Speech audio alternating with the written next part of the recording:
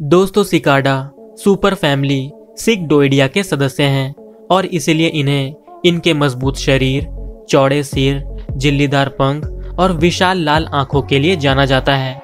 इस सिकाडा को दो प्रकारों में विभाजित किया गया है, वार्षिक सिकाडा और आवधिक सिकाडा। वार्षिक सिकाडा वो है जो हर साल दिखाई देते हैं और आवधिक सिकाडा वो है जो अपना अधिकांश समय ज़मीन के अंदर बिताते हैं और हर एक या दो दशकों में एक बार बाहर निकलते हैं। इन सिकाडा को अपने लंबे समय तक गायब रहने की प्रवृत्ति के लिए और सिर्फ़ नियमित समय अंतराल पर फिर से प्रभावी रूप से प्रकट होने के लिए जाना जाता है। नेशनल जियोग्राफिक के अनुसार, इस सिकाडा का आकार 2.2 से 5.5 सेंटीमीटर के बीच होता है और इसकी आँखें लाल, सफ़ेद या नीले रंग की हो सकती है। और अगर बात करें इनकी प्रजातियों की तो इस दुनिया में इनकी लगभग तीन हज़ार से भी ज़्यादा प्रजातियाँ पाई जाती है। लेकिन क्या आपको पता है कि इन सिकाडा का जन्म कैसे होता है? अगर नहीं तो इस वीडियो को पूरा ज़रूर देखना। लेकिन आगे बढ़ने से पहले आपको बता दूँ कि इससे पहले मैंने बहुत से जानवरों के जीवन चक्र की वीडियो बनाई हुई है, जिस पर आप सभी का बहुत प्यार मिला। और आज हम आपके लिए एक और जीवन चक्र के साथ ये वीडियो लेकर आए हैं। हमें उम्मीद है कि आप इस वीडियो को भी वैसा ही प्यार देंगे। तो चलिए, वीडियो शुरू करते हैं।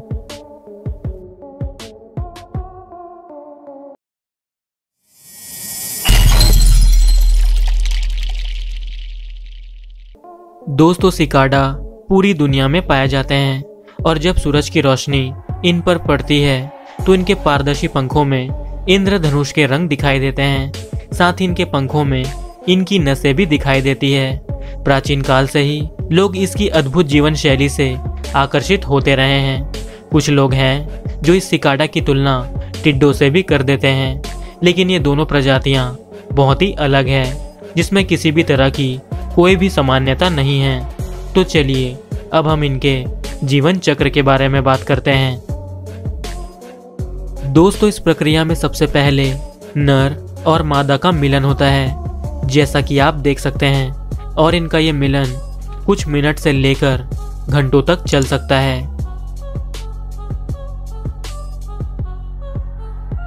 तो जैसे ही इनके मिलन की प्रक्रिया पूरी हो जाती है, उसके कुछ दिनों बाद ही मादा अंडे देने की अवस्था में आ जाती है और इस दौरान मादा अपने अंडे देने के लिए पेड़ों की पतली डंगालियों की तलाश करती है। तो जैसे ही मादा के अंडे देने का समय आ जाता है, उसके बाद मादा पेड़ की पतली डंगालियों में छेद बनाकर उसमें अंडे देना शुरू करती है, जैसा कि आप देख सकते हैं। दोस्तों, आपको बता दूँ कि मादा के शरीर में एक लंबा नुकीला ओविपोसिटर नामक एक अंग होता है, जो एक नुकीले ट्यूब की तरह होता है, जिसकी मदद से ये पेड़ की डंगालियों में छेद बना लेते हैं।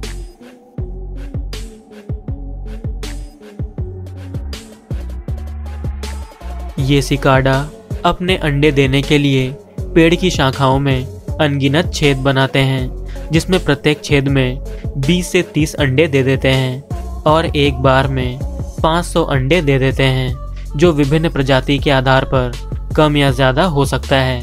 इनके अंडे बहुत ही छोटे होते हैं, जिसकी तुलना आप चावल के दानों से कर सकते हैं। तो जैसे ही ये अपने सारे अंडे दे देते हैं, उसके बाद ये अंडे उसी पेड़ की शाखा में विकसित होना शुरू करते हैं और लगभग छः से आठ हफ़्ते बाद इन अंडों से नेम, यानी बच्चे निकलना शुरू होते हैं, जैसा कि आप देख सकते हैं।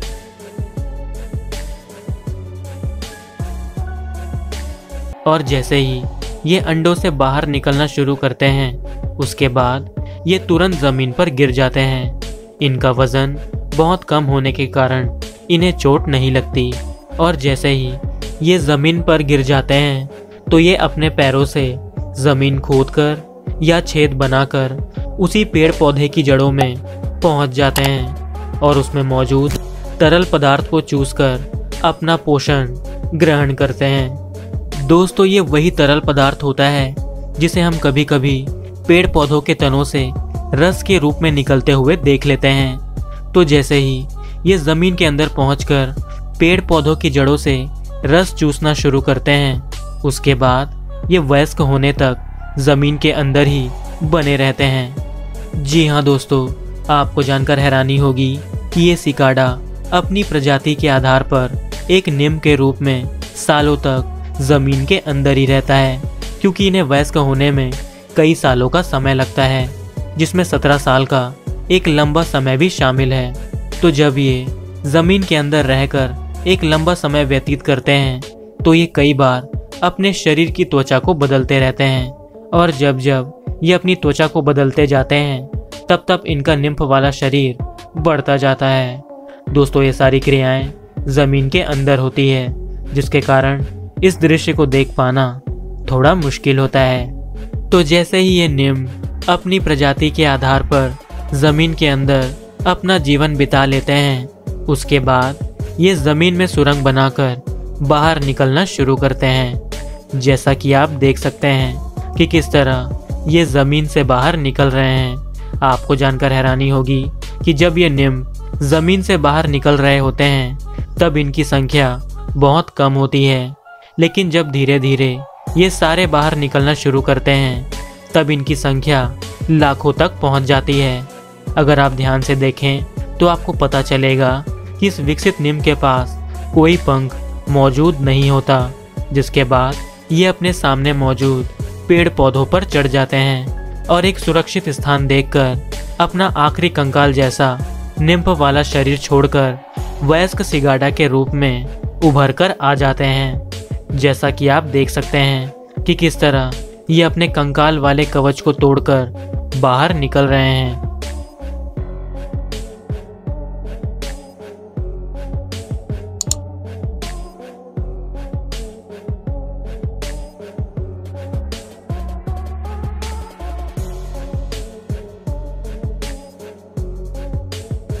और जैसे ही ये कवच तोड़कर बाहर निकल जाते हैं, उसके बाद ये पूर्ण रूप से सिकाडा के रूप में ही बाहर आते हैं।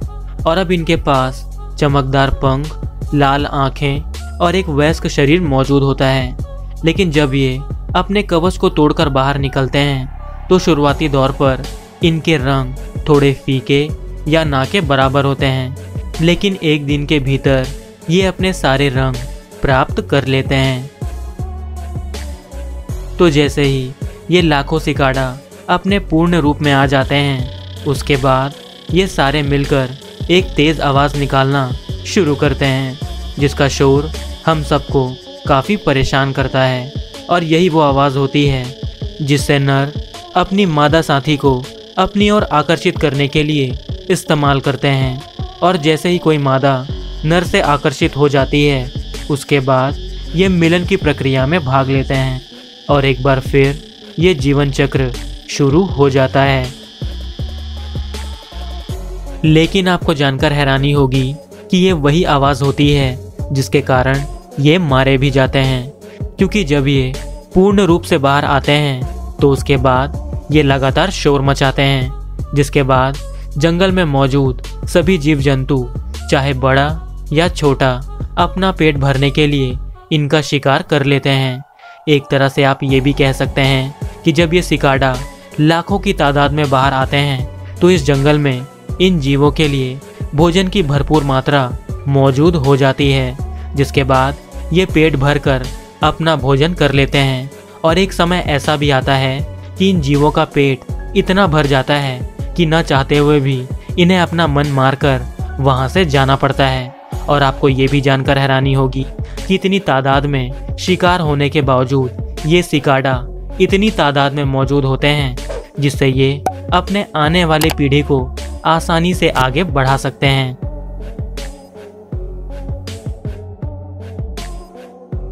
अब आप में से बहुत से लोग ये सोच रहे होंगे कि इस सिकाडा की आवाज़ तो हम हर साल सुनते हैं। तो ये सत्रह साल में एक बार का क्या चक्कर है? तो आपको बता दूँ कि जैसा कि मैंने आपसे पहले कहा था कि इसकी दो प्रजातियाँ होती है, एक वार्षिक और दूसरी आवधिक। तो जो वार्षिक प्रजाति है, वो हर साल अपना वयस्क रूप प्राप्त करने में सक्षम होती है, जिसके कारण आप हर साल इनकी आवाज़ सुन लेते हैं। और अगर बात करें इनके जीवन काल की तो इस सिकाडा का जीवन काल 15 से 20 वर्षों का होता है, जिसमें इनका ज़्यादातर समय ज़मीन के अंदर बीतता है। और ज़मीन से बाहर आने के बाद यानी पूर्ण रूप से वयस्क होने के बाद, ये सिर्फ़ एक से दो वर्षों तक ही जीवित रह पाते हैं, जो विभिन्न प्रजाति के आधार पर कम या ज़्यादा हो सकता है। तो दोस्तों, उम्मीद करता हूँ कि आपको ये वीडियो पसंद आई होगी। अगर आपको वीडियो अच्छी लगी तो इस वीडियो को लाइक, शेयर और चैनल को सब्सक्राइब कर दीजिए। और इस तरह की वीडियो देखने के लिए स्क्रीन पर आ रही वीडियोस, या फिर डिस्क्रिप्शन में दिए गए लिंक को चेक कीजिए। मिलते हैं अगली वीडियो में। तब तक के लिए बाय